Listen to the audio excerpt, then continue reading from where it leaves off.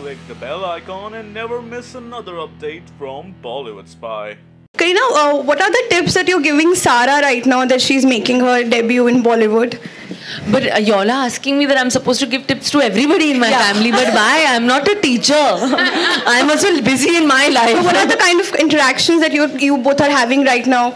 I think that, you know, I'm sure she's going to be supremely talented because she has it in her genes.